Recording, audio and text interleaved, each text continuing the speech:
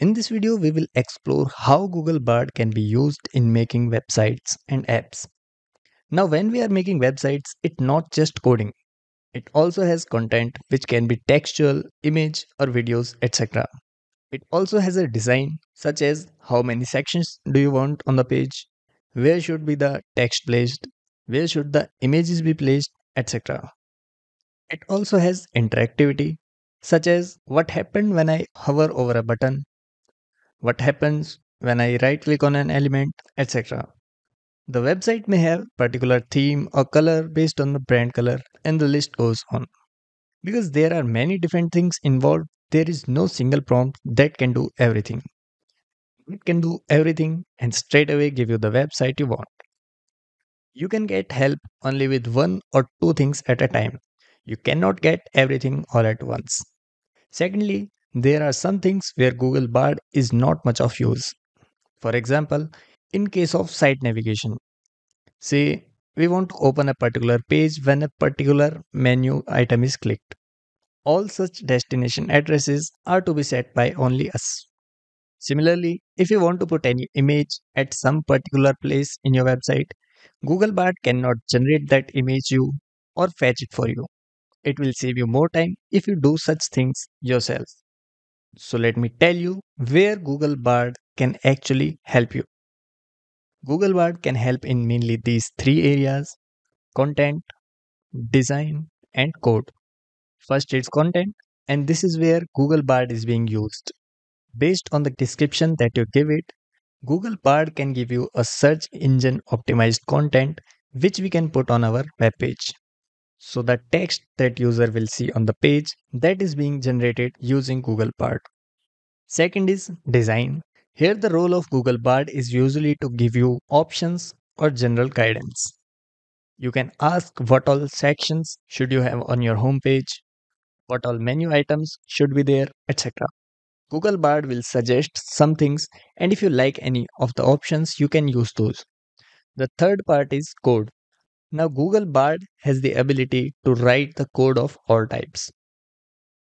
It can give you HTML, CSS, PHP, JavaScript, and all other codes that you would require. But the issue is in telling Google Bard what you require, because explaining the entire design of your web page to Google Bard is difficult. So, what you can do is ask for small code modules. And once you get them, from Google Bard, you can integrate those modules into your own code. For example, you can ask Google Bard to write code to shake the buy button or move the buy button a bit if the user is not interacting for 5 seconds. Once you get the code, you can use this code module in your own code. This way, you can save a lot of time while also maintaining complete control over your own code. Now, just to show you the capabilities of Google Bard, I will ask it to create an informational website of my brand, Start Tech Academy. All the things here will be generated by Google Bard, that is code, design, and content. In real life, we will need to do a lot of things to make it usable, but with this demonstration, you will see the capabilities of Google Bard. So let's go to Google Bard now here I have written my prompt that I want to create a website for my business, Start Tech Academy. We teach data analytics and machine learning through self-paced learning. The website homepage should have a section about Start Tech Academy, a section about instructor's profile, and a section containing a contact form. You can add sections as you feel the best. Based on this, give a detailed description of the website homepage design. Let's submit this. So you can see that Bard has given me a detailed website design. It has main banner in which a large hero image or video showcasing the data analytics and machine learning. Then there is about section, instructor's profile, featured course, benefits of self-paced learning, student success stories, call to action, additional sections like blog, FAQ, resource pages, and client testimonials. These are optional. Then there is designs and user experiences. And lastly, there are some additional tips for creating good web page. By incorporating these elements and focusing on users' experience, you can create a website homepage that effectively attracts potential students and promotes your Start Tech Academy as a leading provider of data analytics and machine learning education. Now, based on this design, I will ask Google Bard to write HTML and CSS code. The websites are usually based on HTML and the design comes from CSS. So I'm going to ask to write HTML and CSS code for this website. So here is my prompt. Here I have written based on the design information you gave above, provide HTML and CSS code to create this website. Generate sample descriptions, testimonials, etc. on your own. Also, wherever there are images, give links to actual images from the internet I will change these images later. Make sure that the content and the images fit responsively. This means is if my website is opened on a mobile phone or other device, it should look good. Let's submit this. So it has written the code. First we have HTML code. Then I asked about CSS. Then we have CSS. You can notice here that it has given some source of images also like here and you can see here as well. So we can replace these images later on. This is what i was saying earlier to you that there is no point in giving all the image sources to google bard and asking it to put it here. Get the code from google bard and do this modification later on on your own so do not depend on google bard to write the code exactly you want. Get the code snippet, modify it yourself, and then use it.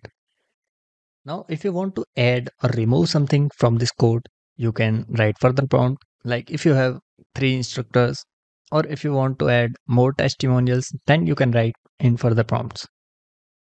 Now, how this website is looking, for checking this, we need to copy this code and paste it in text editor. You can use any text editor like Notepad, Notepad++, Sublime Text, etc. So I will paste my code here and I will save it as HTML file.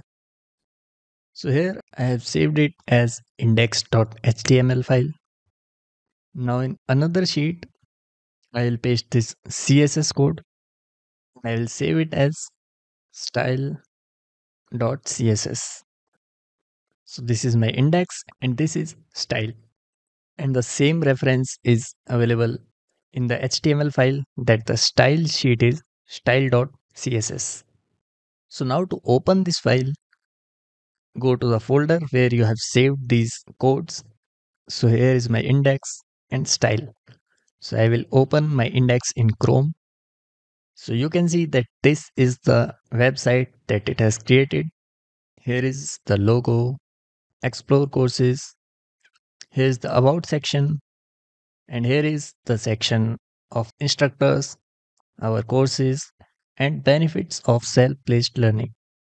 And lastly, there are student success stories or testimonials. Now, of course, it needs a lot of formatting to make this usable. And you can add more things like contact section, which you can write in further prompt that you want to add a contact section as well. And for formatting these sections, you can ask Google Bard to write the code for formatting these sections and Bard will write the codes which can format these sections. Like if you want to show the about section text on the right side of the screen, then you can write in Google Bard that you want to show the text in about section on the right hand side. Now you can change the links of these images in your code. You can ask Google Bard to write a JavaScript for this website to make it more interactive and so on. So in this way, Google Bard can give you all the codes and design that you need, but you cannot get it in one go. You will break it up in smaller parts, get the info for the each part from Google Bard, and then combine them together to make a good website. So that's all in this video. See you in the next one. Thanks.